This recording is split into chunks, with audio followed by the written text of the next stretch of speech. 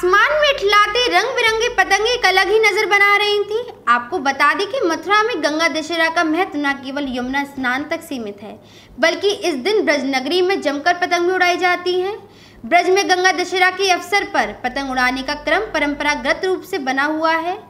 बीते कई दशकों से गंगा दशहरा के मौके पर पतंग उड़ाने के शौकीन जमकर पतंगे उड़ाते हैं और पेच लड़ाते हैं। आसमान में इठलाते, बिखलाते रंग बिरंगी पतंगे जब उड़ती हैं, एक अलग ही नज़ारा बन जाता है। क्या छोटे बच्चे, क्या युवा, क्या बुज़ुर्ग सभी पतंग उड़ाने का लुप्त उठाते हैं? कुछ ऐसा ही नज़ारा रविवार को गंगा दशहरा के मौके ब्रज में दिखाई दिया। वैसे तो सुबह तड़के से ही पतंग उड़ाने के शौकीन अपने अपने घरों के छतों पर पहुंचकर पतंग उड़ाते नज़र आते हैं। लेकिन खास तौर पर शाम हो जैसे ही सूरज ढला तब ब्रजमंडल में आसमान का नज़ारा देखने लायक बन जाता है।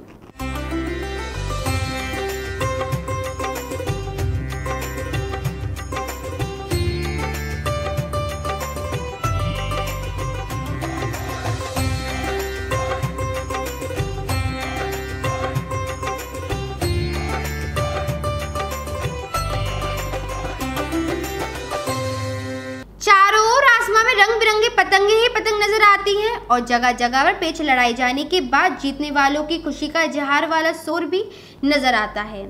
इस मौके पर विशेष तौर पर बच्चों का उत्साह देखते हुए बन रहा था।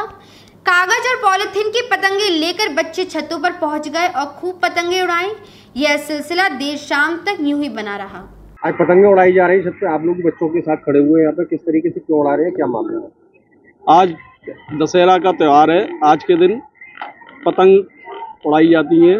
बच्चों का मनोरंजन की करते हैं इसमें पतंग उड़ा के।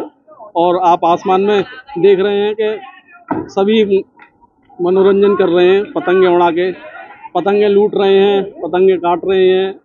और बहुत ही आनंद प्राप्त होता है बच्चों को। अमूमन देखा गया है कि मकर संक्रांति के अवसर पर जगह जगह पतंग उड़ाई जाती है लेकिन गंगा दशहरा पर मथुरा में पतंग उड़ाने के कोई विशेष रिवाज है क्या?